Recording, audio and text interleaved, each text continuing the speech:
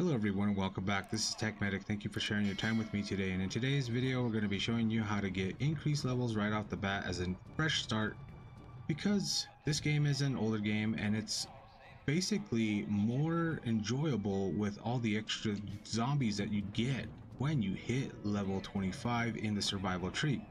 So I'm on top of this building right now for the sake of getting some supplies and these are the packages that you're going to be utilizing to duplicate in order to go ahead and get to that skill level of rank 25 when you hit rank 25 you get access to the legend levels in which you can go ahead and do this all the way to 250 and this just increases your combat prowess stamina as well as uh, weapon damage and the healing abilities for your character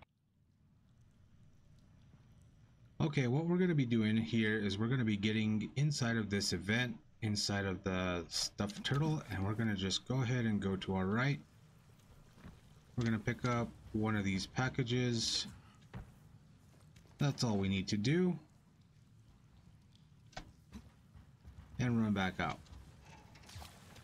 Mine the electricity. And we can go ahead and get out of here.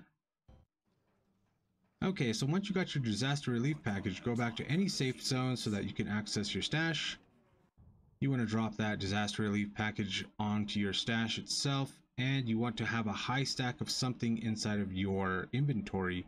So that could be something like lockpicks or firecrackers or a crafting material that you picked up a lot of. You're going to have to do a little bit of farming in order to go ahead and increase the stack because duplication in this version of the game is not working the way it did in the past.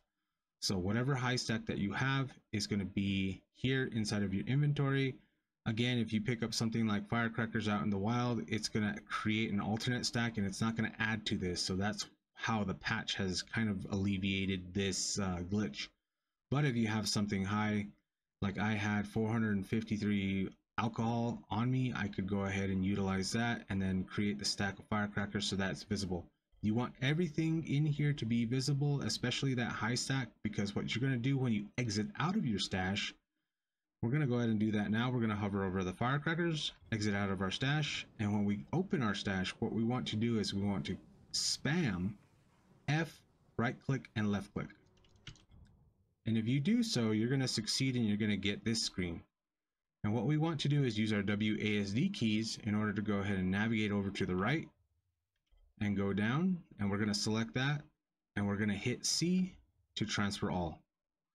If we successfully did that, we should have one stack of that 453.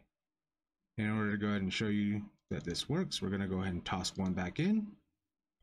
We're going to go ahead and go back up, hover over our firecrackers again, you could utilize any item. You don't have to use firecrackers. I just use them because they're an equipable item and they jump straight to the top. And now that we have that, we can go down to the disaster relief package. We can hit C again. And we can go check it out. And now we have five. So again, we can go ahead and do that. Go all the way to the top we could just pretty much put our cursor there because once you get a, the hang of this and you do it uh, repetitively you can make sure that you know your high stack is always going to be right there. Go down hit C. And we can see now that we have six different stacks. And this is going to work until you get to a point you don't want to be turning in like 90,000 of these uh, packages because you're not going to get the experience from them. So you want to make sure that you do that as it is. And it's going to help you unlock those skill levels, especially survivor rank level 25, which is going to open up the ability to buy a bunch of different weapons that are going to be of that survival level. And it's going to give you a bunch of different uh, ammunitions included with that. And you're going to have more access to all the zombies as well as uh, increased difficulty. And it's going to be a better experience, I believe, right off the bat, especially before you jump into the rest of the story. Uh, a lot of the weapons that you do get inside of the game, as you know, they're going to be kind of like uh, meh for the most part, but opening up the police vans is going to be something of an excitement because you're going to be getting a lot of good stuff out of them. So anyway, if you made it this far in the video, please consider liking, subscribing, and commenting. It would really help me out and we will see you all in the next one. Have a good night.